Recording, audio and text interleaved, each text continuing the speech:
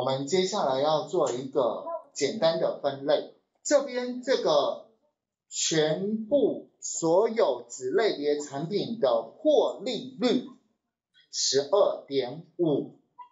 我们如果知道这个值十二点五，那我们可不可以这样子来去思考一下？就是说，我们公司的这些子类别，如果大于十二点五，也就是大于零点一二五的话，它就是代表有高获利；如果是低于十二点五，它就是一般获利。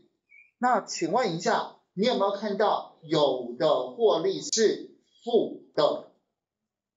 所以我们大概就把获利类别化。所以我们来看怎么做这件事。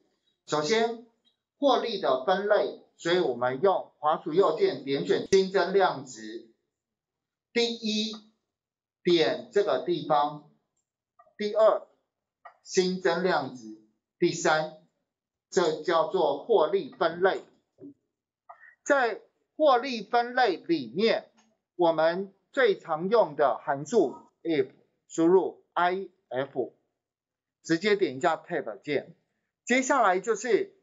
逻辑值的判断，我现在是不是要拿获利率 percent 来当做是一个判断依据？所以请输入一撇，就是获利率百分比 tab 键。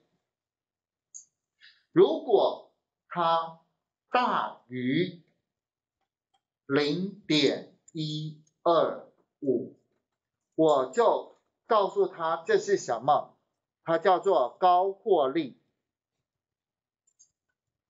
那因为我要输入的是中文字，所以前后会加两撇符号。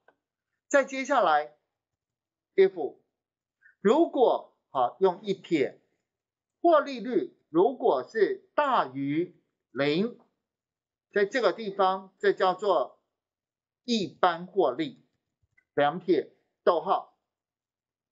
剩下是不是就只剩下小于零的这种叫做负获利？右刮弧，右刮弧，记住右刮弧要两个，然后记得按一下 Enter 键。那我们这边是不是有一个获利分类？所以我们这边我就有高获利、负获利、一般获利。